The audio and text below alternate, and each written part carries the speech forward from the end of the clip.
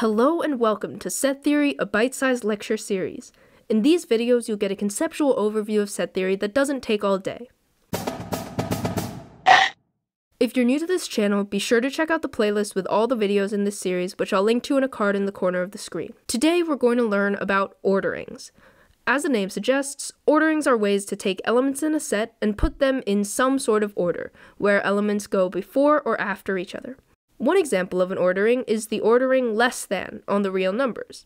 The set R of real numbers doesn't have an inherent order on its own, it's just a bunch of numbers floating around. But if we define what it means for one number to be less than another number, we've suddenly placed all these floating numbers on a strictly ordered line that goes forward and backward. We already order things all the time in daily life, and we've been using the idea of ordering intuitively this whole time. The reason why we're explicitly defining ordering now is because we want to use them to define ordinals, which will let us talk about sizes of infinity as if they're just another type of number. But let's save that for the next lesson. The first thing to understand is that all orderings are relations. For a refresher on relations, click the card above to watch lesson 4. But basically, an ordering is a set of ordered pairs, each of which orders one element before the other. For example, take the set S equals the set 1, 2, and 3. The ordering less than on S would be the set of ordered pairs 1, 2, 1, 3, and 2, 3. It organizes the elements in S so that you can pick any two elements and know which one is less than the other. Less than isn't the only possible ordering. For example, if we had a set of 100 people, we could define the relation T, where the ordered pair XY is in T if and only if person X is taller than person Y. That said, for reasons which will become clear, we generally think of orderings as sort of equivalent to less than.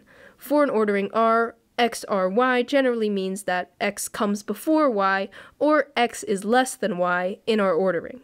There are three basic types of orderings, and each one is sort of a subset of the last. So, the most general type of ordering is a partial ordering. Certain types of partial orderings are called linear orderings, and certain types of linear orderings are called well orderings. Let's start with partial orderings. A partial ordering is a relation R meeting the following two conditions. First, R is a transitive relation. So if X R Y and Y R Z, then it must be true that X R Z. An easier way to think about this might be if x is less than y and y is less than z, then x is less than z. And second, R is irreflexive, so it is never the case that X R X. Again, this translates to it is never the case that x is less than x, which makes sense. We want x to be equal to x, not less than itself. Partial orderings are named as such because they are not required to encompass the entire set that they're applied to. That is, in a partial ordering, you can have two elements that aren't related at all. They just coexist peacefully without one being less than the other. This means that partial orderings can have sections that are completely separate from one another. Additionally, sections of a partial ordering can branch off or merge.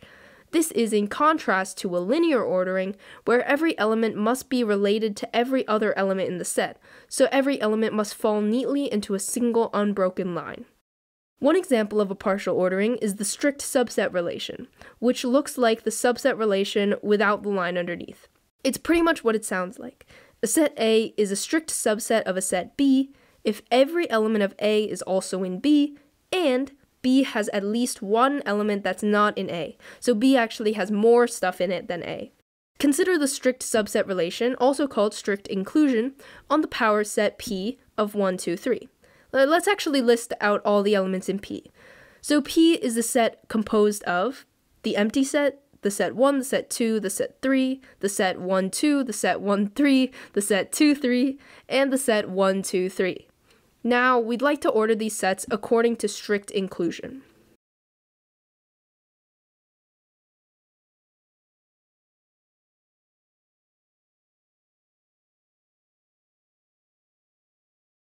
So there are some unbroken lines. For example, this path from the empty set to 1, 2, 3. This path translates into the empty set is a strict subset of the set 2, is a strict subset of the set 1, 2, is a strict subset of the set 1, 2, 3. But there are also a bunch of sets that aren't related to each other at all.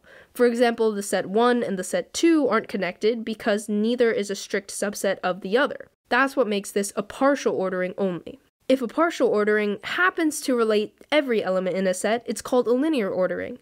A linear ordering R on a set A is defined as a partial ordering that also satisfies something called trichotomy on A. That is, for any x and y in A, exactly one of the following statements is true. Either x R y, y R x, or x is equal to y.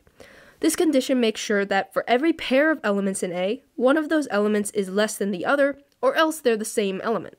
As we saw before, one example is the usual less than ordering on the real numbers. Under a linear ordering, all the elements must be organized in a single unbroken line, where each one is either less than, greater than, or equal to each of the others. Finally, a well ordering on a set A is a linear ordering with the further property that every non-empty subset of A has a least element. So for example, while the less than ordering on the reals is a linear ordering, it is not a well ordering, because there isn't one real number that's less than every other real number.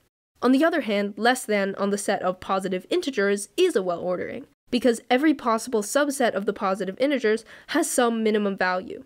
You should check out the example problems, which are linked in the description, for a more detailed explanation of why this is a well ordering.